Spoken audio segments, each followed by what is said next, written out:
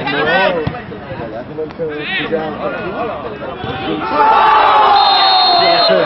va a hacer? A Qué bien, Gerard. ¡Grande, Xavi! ¡Grande, tío!